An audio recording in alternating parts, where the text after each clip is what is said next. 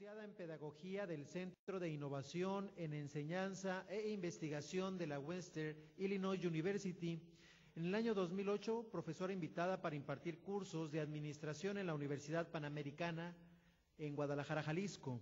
Ha realizado diversas publicaciones, ha impartido cursos desde el año 2000 en la Western Illinois University en los temas de administración estratégica, administración internacional, toma de decisiones administrativas, administración de carrera, teoría organizacional, administración de operaciones, desarrollo organizacional y recursos humanos.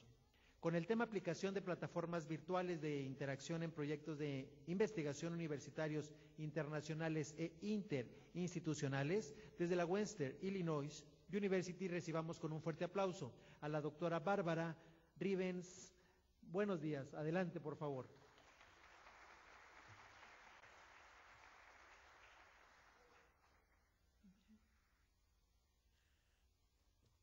Good morning.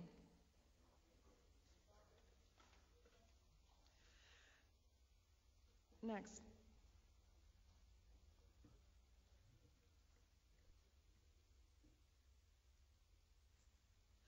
What I'm going to talk to you about this morning is uh, some projects that I've worked on with virtual teams and provide you with some of the background and the uh, experience things that I've learned and to encourage you to get involved.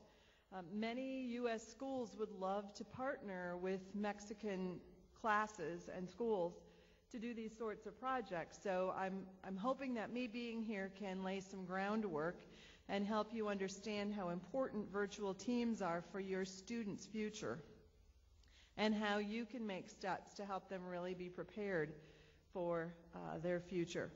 So I want to start with sort of a basic definition of what is a virtual team, because we all know that term, or we've heard that term, but what does it really mean? And then I'm going to use that and develop that into sharing some of my experience and some encouragement for, um, for all of you. The first thing to mention with a virtual team is that you would like to have coworkers with complementary skills. Um, a virtual team is a wonderful thing in the sense that we can look for the best skill sets that fit together. And we're not uh, trapped by who is together geographically or organizationally. Um, so this common purpose and goals is very important um, to find people who fit together and will move us toward that. Um, but we also uh, have to recognize that there is a need for accountability. The second thing with a virtual team is that they're geographically and organizationally dispersed. And when we think about examples in businesses of virtual teams, uh, one of the major things we often think about is product development teams that are dispersed around the entire world. Some of you may have read or heard about some of the design teams, particularly in automotive uh, situations, where they have uh, workers from all around the world in China and India in Europe, in the United States, in South and Central America, all working together on updating and designing new models of cars. Um, this is very freeing for organizations to be able to use these dispersed teams because it really means we can put the best minds together. So think about how we need to prepare our students if they're going to be working with people who are not in the next cubicle or are not just down the hallway, but they are geographically dispersed for them, from them. And then the third aspect of virtual teams is that we're using technology to reach our goal. Um, one of the really important upshots of this is that people really need to have a comfort level with using technology for communication and not just communication on a, one-to-one basis, but communication within a group.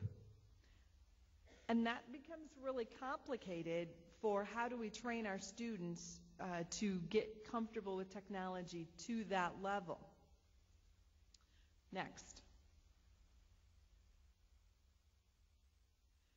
So one of the things that I wanted to touch on just a minute are what are some of the pros and cons of virtual teams and um, how we can can we go to the next slide? How that makes uh, it important for students to have the skills of working in a virtual team. I don't know where my slide person is. Oh, there we go. Benefits. Um, one of the big benefits is that it allows us to draw from a big group of people.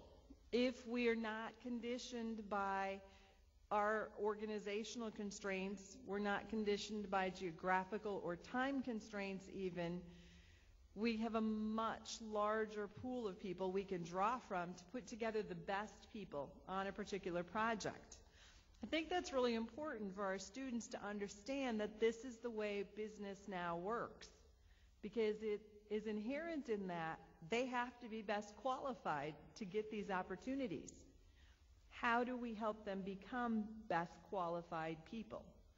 And one of the things is to give them experiences in virtual teams and give them the opportunities to develop their skill sets so that they have a comfort level and they can rest on their merits. The other piece of that benefit is it minimizes cliques and politics. Um, we all know the political sorts of things that can happen in a workplace and the way that can sometimes interfere with work. If we're working virtually, we transcend some of those day to day relationship issues, whether you like someone or don't like someone, because we're working on a more uh, content based level. And yet you still know them, but at a different sort of uh, level. And so it can provide a way to say, I don't have to pick these people because they like each other. I can pick the best people for the job. One of the drawbacks, some of the drawbacks are a loss of social contact. That's the opposite side of that clique problem. Um, while we don't have uh, group dynamics interfering, we also lose some of the group connectedness some of the social capital that can be gained from people who work together well and work together often. There also can be some real feelings of isolation um, that can come when you are working with a team but you never ever see them face to face. It's sometimes hard to understand how you fit into that team. And then the last one here is a lack of trust. And I'm going to talk a little bit more about trust in just a few moments. Next.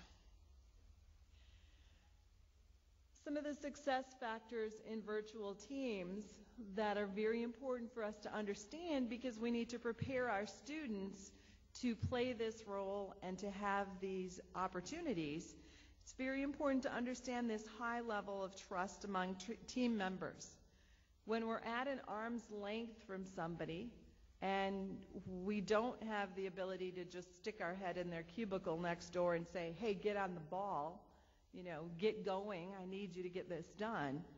But we have to do it in writing or we have to do it via an email in a long distance sort of thing. It creates some real trust issues, some real challenges when they're not face to face.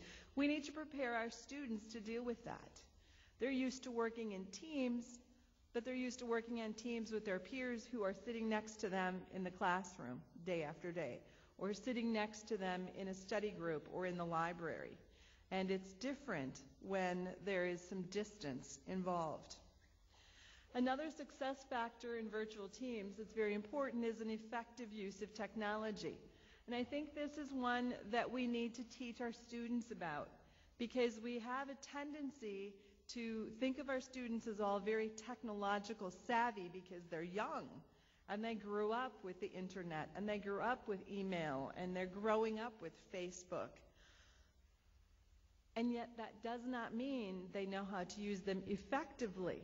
They can get in some very bad habits because they've maybe used these for very social things, not necessarily for a professional situation.